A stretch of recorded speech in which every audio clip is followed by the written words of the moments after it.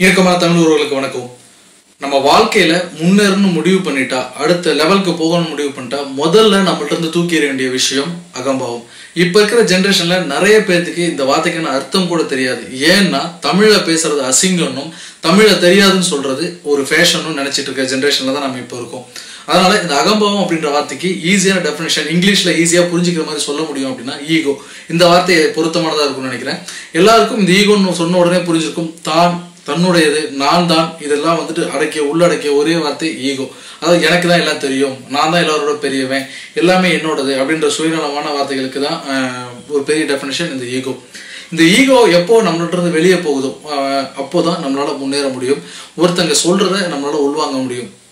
For example ஒரு முதலாளி இருக்கான் ஒரு ஒரு பெரிய ஆள் இருக்கான் அப்படின்னா அவனுக்கு கீழே இருக்கிறவங்க என்ன சொல்றாங்க? ஒரு நல்ல விஷயத்த சொல்ல வந்தா கூட தான் அப்படின்ற ஒரு அகம்பாவம் இருந்துச்சு அப்படின்னா அவனால அவங்க என்ன சொல்ல வராங்க அப்படின்றத புரிஞ்சிக்க முடியாது கேட்க முடியாது. இதை ஒரு சின்ன அழகான குட்டி கதையில சொல்றேன். லியோ டால்ஸ்டாய் நம்ம எல்லாருக்கும் தெரியும் உகழ் உலக புகழ் பெற்ற எழுத்தாளர்.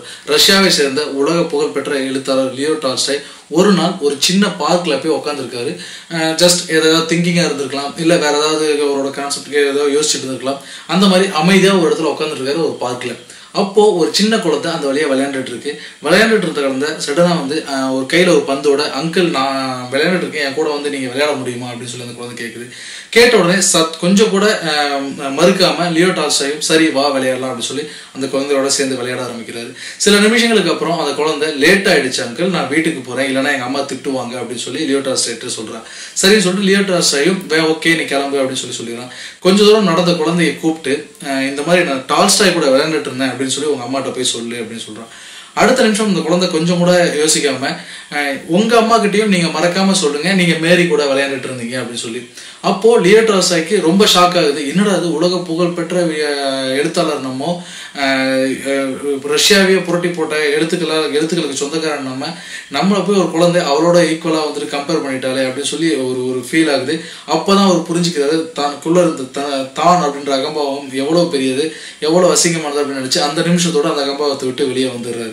இது மட்டும் இல்லைங்க அகம்பாவம் அப்படின்ற வார்த்தைக்கு பல கதைகள் நம்ம புராணங்களையும் சொல்லப்பட்டிருக்கு நம்மளோட நடைமுறை வாழ்க்கையிலும் சொல்லப்பட்டிருக்கு. ஒரு எடுத்துக்காட்டா ராவணன் வந்து தன் உயிருக்கு எந்த உயிர்களாலையும் ஆபத்து வரக்கூடாது எதனாலையும் ஆபத்து வரக்கூடாதுன்னு வரம் கேட்கும் போது கூட சிவனை நோக்கி வரம் கேட்கும் போது கூட மனிதர்களால் தனக்கு வ- உயிர் வந்துட்டு பிரியக்கூடாது அப்படின்னு சொல்லி கேட்கல. ஏன்னா தான் வந்து பெரிய ஆள் அப்படின்ற ஒரு அகம்பாவத்தில் மனிதன் துச்சம் அப்படின்னு சொல்லி அந்த வரத்தை கேட்காம விட்டுட்டான். கடைசியாக ஒரு மனிதன் கையால் சாகடிக்கப்பட்டான் அப்படின்றது வரலாறு சொல்லுது. அதே மாதிரி முயல் ஆமை கதையை நம்ம எல்லாருமே படிச்சிருப்போம் கேள்விப்பட்டிருப்போம். முயல் ஆமையில் முயல் உண்மையிலேயே வேகமாக ஓடக்கூடியது மிகவும் பொறுமையாகவும் மெதுவாகவும் போகக்கூடியது ஆமை. ஆனா அந்த ஆமை முயலை ஜெயிச்சிச்சு அப்படின்னா அதுக்கு காரணம் முயலோட அகம்பாவம் தான். ஏன்னா அந்த ஆமை எப்படியும் மெதுவா நடந்து வரும். நம்ம முதல்ல ஓடி போயிடுவோம். ஓடி போய் இழைப்பாருவோம் அதுக்கப்புறமா அந்த ஆமையை தாண்டி போயிடுவோம் அப்படின்னு நினைச்ச முயல் தூங்கும்போது மறந்து போய் ரொம்ப நேரம் தூங்குனதுக்கு அப்புறம் அந்த ஆமை அதை கிராஸ் பண்ணி ஜெயிச்சதா சொல்லும் ஸோ அந்த ஆமையினால முடியாதுன்னு நினைச்ச அகம்பாவம் தான் முயலை தோற்கடிச்சிச்சு.